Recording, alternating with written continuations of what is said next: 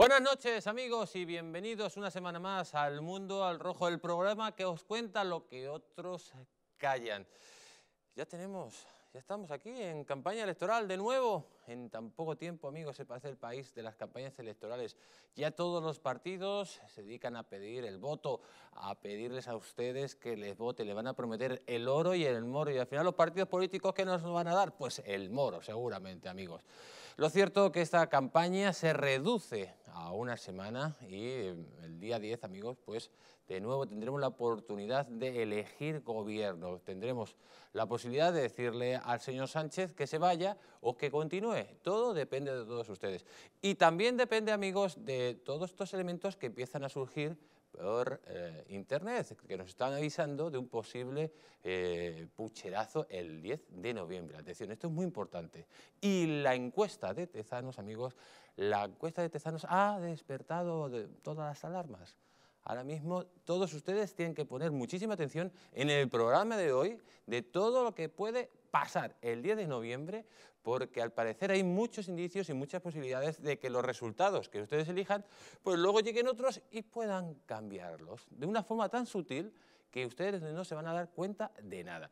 Por eso, amigos, hoy no se pueden perder este super programa que os hemos preparado, porque vamos a contar con los mejores, nada más y nada menos va a estar con nosotros don Carlos Cuesta, que nos va a hablar de la sanción de la Junta Electoral Central a Pedro Sánchez, también va a estar con todos nosotros Almudena Negro, que vuelve después de prácticamente un mes fuera del mundo al rojo. El doctor Pablo Victoria, el ex candidato colombiano a la presidencia, también perdiguero de esa caza de brujas que está haciendo el señor Torra en Cataluña.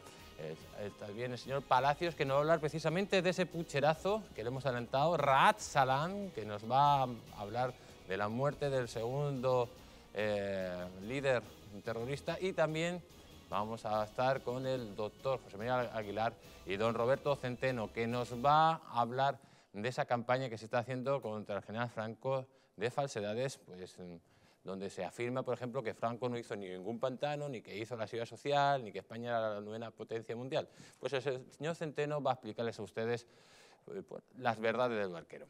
Amigos, en primer lugar, recordarles a todos ustedes que nos pueden ver en la frecuencia 45 y 57 de la Comunidad de Madrid. También nos pueden ver en la Comunidad Valenciana, en la 8 Mediterráneo y en Aragón, en la 8 Zaragoza. Si ustedes están fuera de estas comunidades autónomas, nos pueden ver o sintonizar en, internet en www.distritotv.es o www.eldistrito.es. En las redes sociales, ¿cómo no? En las redes sociales, amigos, eh, de Twitter, en mundo, arroba mundo rojo y hashtag mundo al rojo. Y también, amigos, nos pueden seguir en Distrito TV en Facebook y en YouTube, donde ya somos más de 66.000 los seguidores que siguen a Distrito Televisión, amigos, y donde les damos de nuevo las gracias.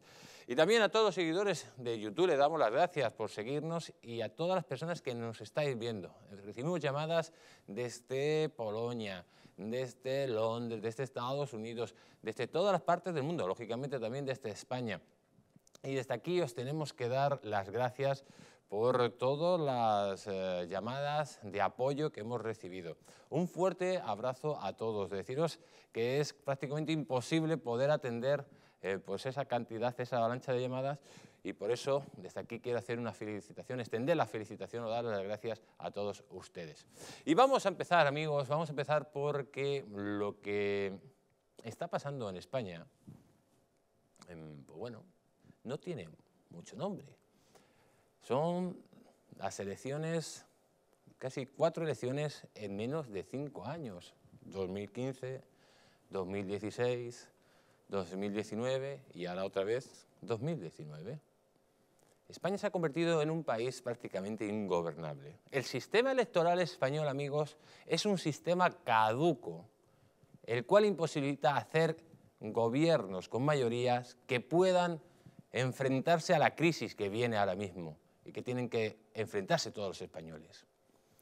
Por eso, cuando hablan de continuas elecciones, ¿qué es lo que demuestra este sistema? Pues es un sistema que se hizo en su momento para favorecer a unos partidos separatistas que tienen un poder en el Congreso de Diputados que no le corresponde con la calidad de votos que tiene. Hay que reformar de una vez por todas este sistema de elección. Un sistema de elección que solo favorece aquellos que quieren romper a España. Y por lo tanto, amigos, hay que cambiarlo de una vez por todas. No podemos tener elecciones cada dos años o cada un año.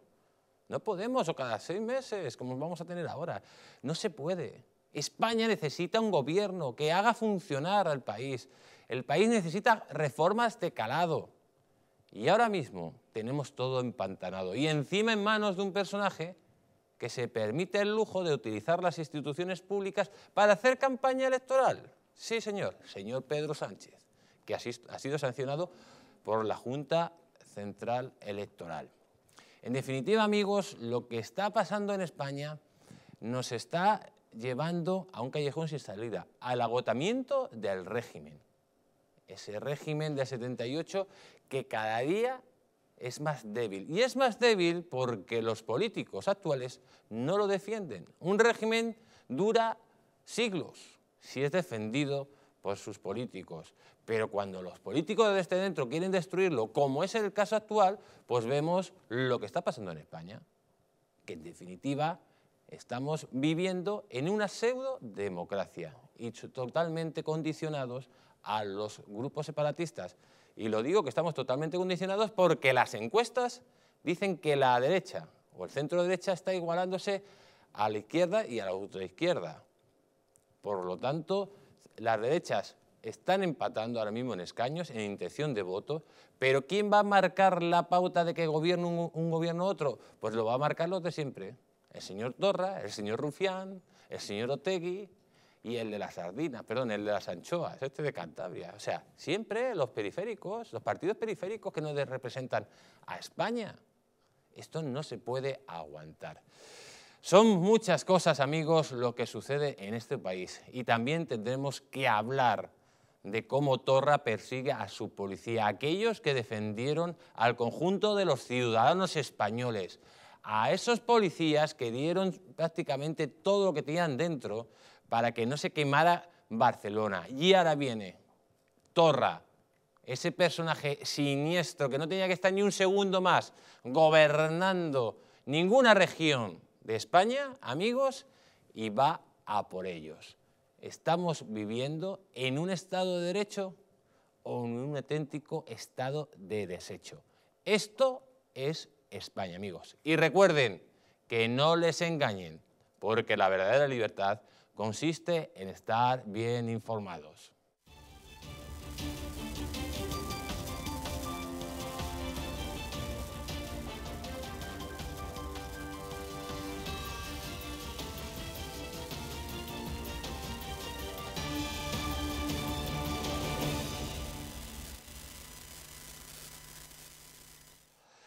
Y amigos, continuamos y continuamos recordándole la pregunta que le hacemos a todos ustedes. ¿Es España una nación o un Estado plurinacional, como afirma Sánchez? Si ustedes creen que España es una nación, pues voten al 905 80 81 40. Si ustedes creen, como el Partido Socialista piensa eh, que España tiene 18 naciones, pues voten en el 905 80 81 41. Vayan votando.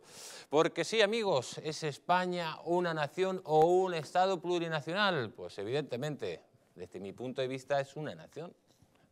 Porque si tuviera muchas más naciones seríamos un imperio, como por ejemplo el imperio austrohúngaro y que yo sepa, España de momento no es imperio. Lo fue en su momento, pero ahora no. Y precisamente son las presiones del eh, Partido Socialista Catalán las que llevan al PSOE a recuperar en su programa guiños al federalismo. Estamos hablando, amigos, que el Partido Socialista de Cataluña pide un aumento del autogobierno para esta región, así como el blindaje de las competencias de la Generalidad. Además, el programa para las elecciones del 10 de noviembre que ha sido cambiado expresamente por el Partido Socialista catalán, incluirá el siguiente párrafo. Dice que al menos desde el 2003, en Santillana de Mar, el PSOE se ha comprometido a las reformas necesarias para un nuevo impulso del autogobierno, luego concretadas en la Declaración de Granada de 2013 y en la Declaración de Barcelona del 2017, un texto similar al del programa del 28 de abril. Además, dice el programa electoral del Partido Socialista que apuesta por una España fuerte y cohesionada, estructurada a partir de la Constitución y de los estatutos de autonomía, recogida en el borrador socialista, en el que no había una sola referencia a la posibilidad de dar un nuevo impulso al autogobierno. Pero al parecer, amigos, el Partido Socialista y el Partido Catalán, eh, concretamente, ha obligado a Falconetti a cambiar ese programa y que tengan en cuenta ese federalismo. Cuando hablamos de federalismo, hay que recordar que el federalismo que representa esta gente es el federalismo radical, más parecido al de los cantones del siglo XIX, ese federalismo que casi destruye España. Además, España nunca ha sido un Estado federal, como pretenden los socialistas catalanes, porque para que surja un Estado federal es para unir cosas que están desunidas, por ejemplo, como en la Alemania. ¿eh? Alemania es un Estado federal porque había un montón de reinos separados y montaron un, Estado federal. Pero es que España ya está unida, señor Iceta. Por lo tanto, no hay que crear ninguna federación. Además, que usted no quiere crear una federación, lo que quiere crear es una confederación. Y además lo que quiere, señor Iceta, atención amigos, cuando ustedes voten al Partido Socialista, que sepan, que sepan que el Partido Socialista Catalán lo que quiere es que haya más autogobierno en Cataluña. Yo no sé qué más autogobierno puede haber. Además, en una región de España que está en plena rebelión. Y que se coja y que se blinde las competencias de la Generalidad. Si se blindara las competencias de la Generalidad, amigos, ¿qué es lo que sucedería? Pues que no se podría aplicar, por ejemplo, el artículo 155, porque eh, lógicamente el Estado aplicaría ese, ese artículo cuando las competencias de la Generalidad pues han sido sobrepasadas. En definitiva, el pastel que tienen preparados todos estos señores, pues es increíble. El Partido Socialista pues intenta de una u otra forma pues eh, lanzar un mensaje de que cada vez es más español cuando lo que lleva en su programa electoral es más autogobierno para una región como es Cataluña que está en rebelión.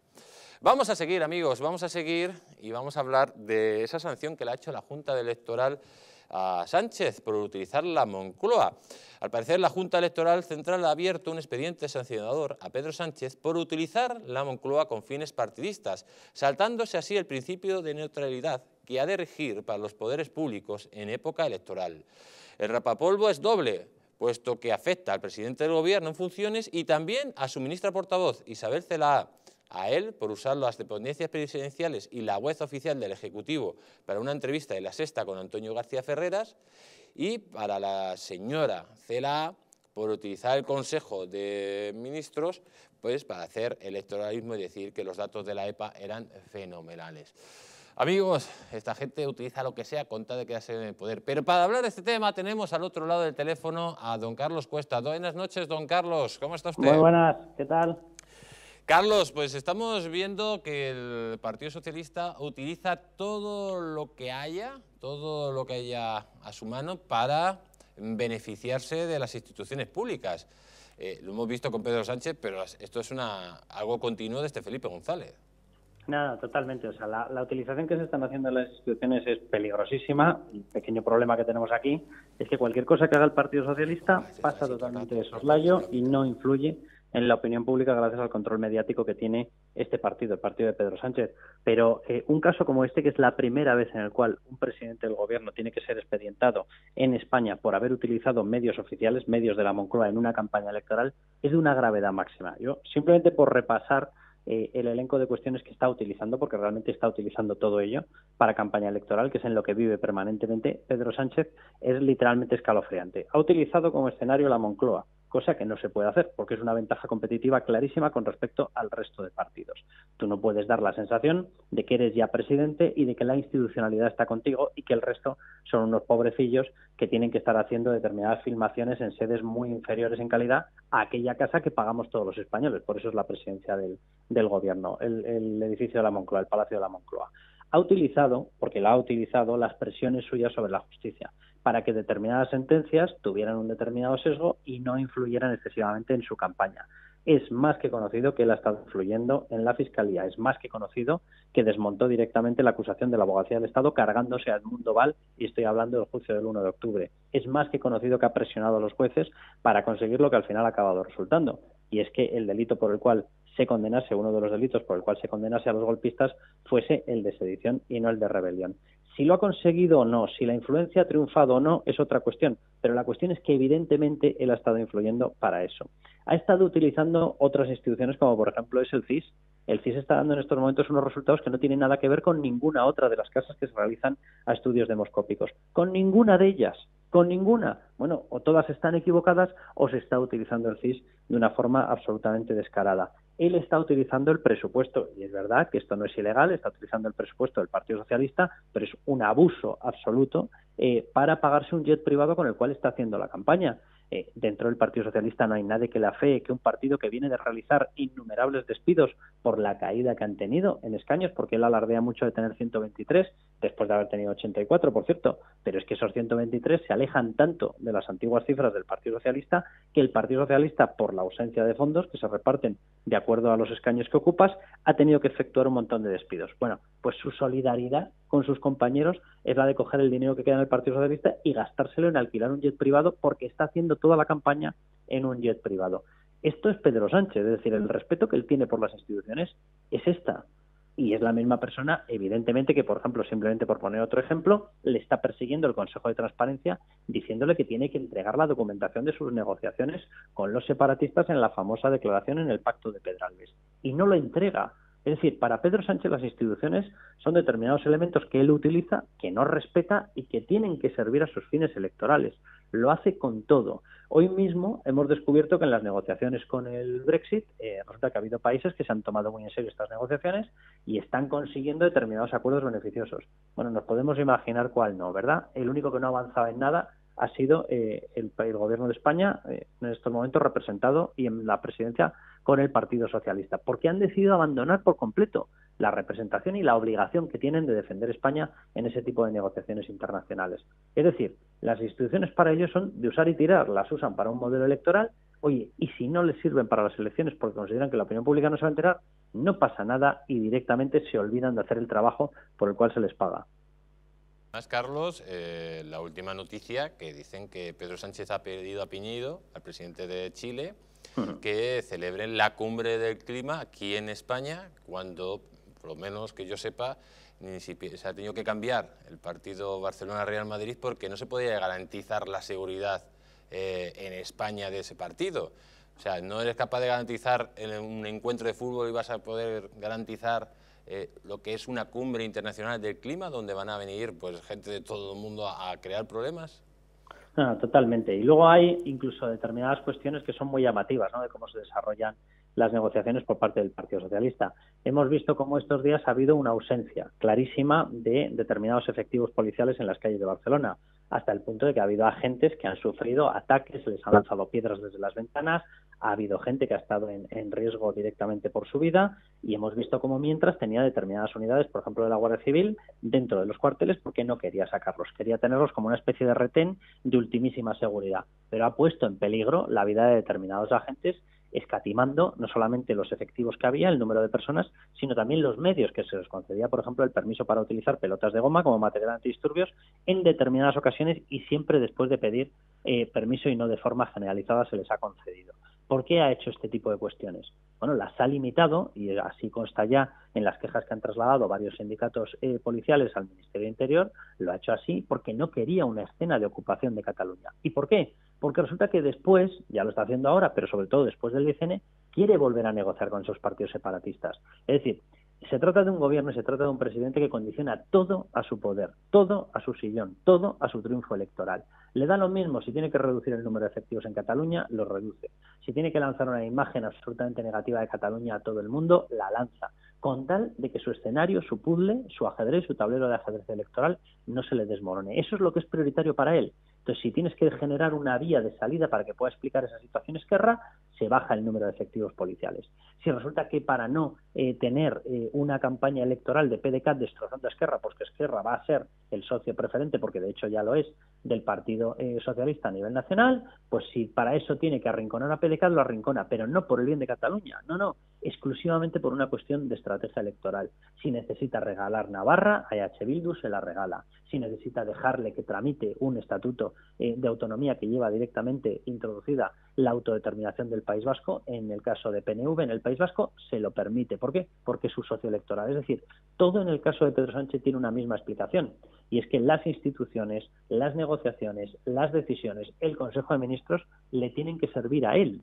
Yo eh, vengo de familia, mi padre es eh, funcionario, ingeniero del Estado. Yo siempre había escuchado en mi casa esta historia del servicio público. Bueno, este señor le ha dado la vuelta. O sea, no hay ningún tipo de servicio público en su función. Es decir, todo lo público le tiene que servir a él en vez de servir él a lo público. Carlos, muchísimas gracias por tu intervención. Te vemos mañana con tu programa con España Cuesta a las 22 horas. Un abrazo muy fuerte. Un abrazo, cuídate mucho. Amigos, y continuamos, y continuamos porque lo decíamos en su momento, la campaña electoral empieza casi con, bueno, con una caída del Partido Socialista y un acercamiento del Partido Popular. Estamos hablando que el Partido Socialista pierde ocho escaños en solo dos semanas y, Bus, y sube hasta los 41 escaños.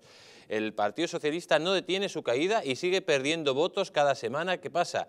Los disturbios en Cataluña y toda la propaganda relacionada con la exhumación de Franco no solo no está beneficiando a la candidatura de Pedro Sánchez, sino que está haciendo más fuerte a los partidos situados en los extremos, como el caso de Vox en el conjunto de España, que consolida su tercera posición.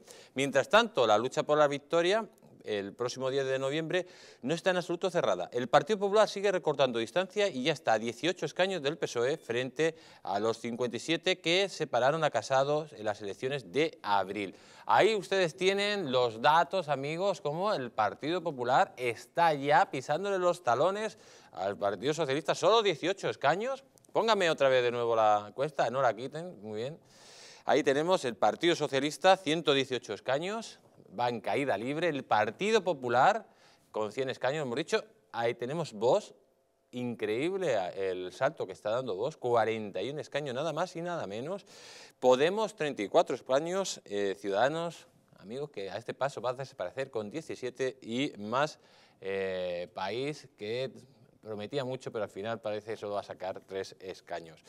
Lo cierto, amigos, es que esto es una encuesta que nos da el país, eh, el país, el ABC donde se demuestra claramente que el Partido Popular, con un cambio eh, el porcentaje muy pequeño de votos, puede incluso igualar o superar al Partido Socialista.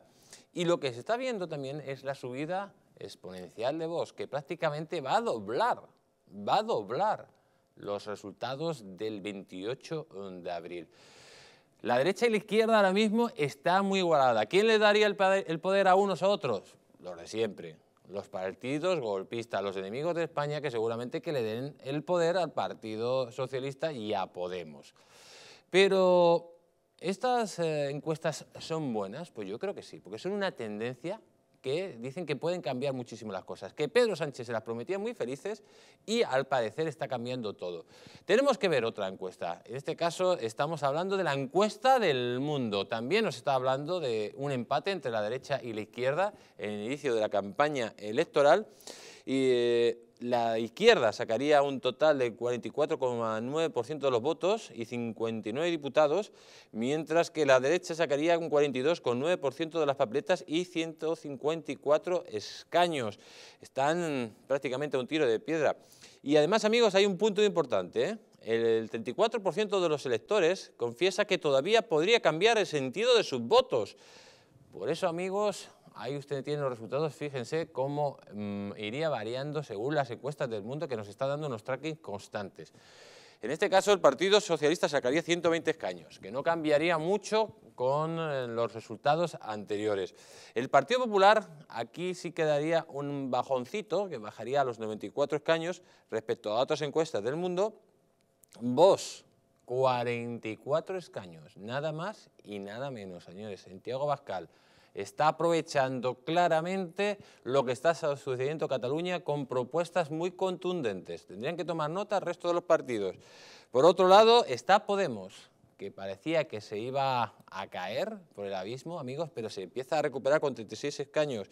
Ciudadanos, los Ciudadanos, amigos, es preocupante que desaparezca este partido, porque es que va a desaparecer con 16 escaños. Esperemos que la campaña electoral pueda recuperarse.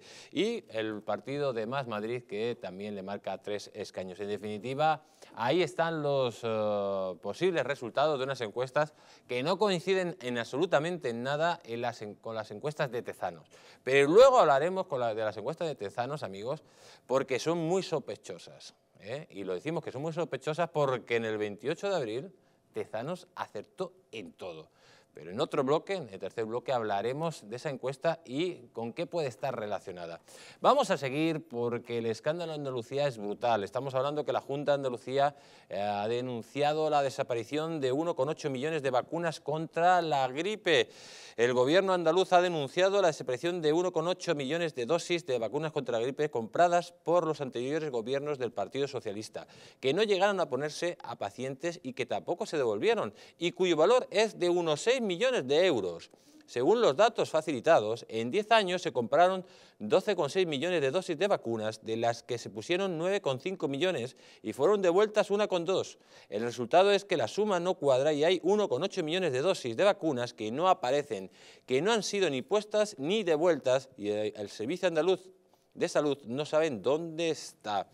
Eh, además, un escándalo que ha contado, que hay que sumarlo con otro, porque se ha destapado la semana pasada que el gobierno socialista anterior infló entre un 9 y un 15% los datos de vacunación, que se traduce en que mintieron, en que un millón de andaluces fueron vacunados de gripe y no lo fueron. Atención, esto, el partido, amigos, más progresista del mundo, el partido de los pobres, el partido que te ayuda cuando no tienes nada, mientras que los ricos te quitan todo, robando a manos llenas las vacunas de los niños y de los ancianos. Porque si falta, si faltaran 50 vacunas de millones, pues dice, bueno, pues alguna que se ha roto, pero si falta millón, un millón, 800.000 vacunas. ¿Saben dónde están ese millón 800.000 vacunas? En los bolsillos de algunos caciques socialistas en Andalucía, amigos. Qué vergüenza, qué vergüenza y que esta gentuza ahí está 40 años gobernando los destinos de Andalucía. Pero para la gentuza y para, y para ver cómo actúan cuando cogen el poder durante un tiempo los socialistas, tenemos que ver lo que pasa en la comunidad valenciana. Ya que el hermano, el hermano de Chimo Puig, pues ha sido imputado junto al director de política lingüística tras una querella del Partido Popular en Valencia. Estamos hablando que mm, Francisco Puig y Ferrer, hermano del presidente de la Generalitat, y Rubén Trezanos, que era el director general de Política Lingüística de la Generalidad, pues han sido imputados por un presunto delito de malversación de caudales públicos, además de por un delito de prevaricación y también pues por un fraude en las subvenciones. Le vamos a contar lo que hacían estos elementos. El señor que dirigía ¿eh? el tema de las subvenciones, concretamente el director general de la política lingüística, pues en la comunidad valenciana, a los medios de comunicación que promuevan el valenciano, se le paga un dinerito, ¿vale? un dinerito fresco para promocionar el idioma, cosa que, por ejemplo, aquí en Madrid no se hace. Podrían pagar también un dinerito por promocionar el español, porque está en peligro de extinción en determinadas partes de España. Pero bueno, le pagan ese dinerito a, los medios de comunicación. ¿Qué es lo que hacía el director de políticas lingüísticas? Pues darle subvenciones supuestamente al hermano de Puig que no le correspondían. Casi 600.000 euros en subvenciones para promocionar el valenciano. Pero es que dentro de esas subvenciones, que una parte, unos 250.000, eh, se lo daba la comunidad autónoma valenciana, también se lo daba la comunidad autónoma de Aragón. Sí, señores, amigos de Aragón, ustedes están mandando dinero para promocionar el valenciano a, este señor. Y luego, lógicamente, los, eh, la región de Cataluña, la Generalidad Catalana, pues también les daba dinero.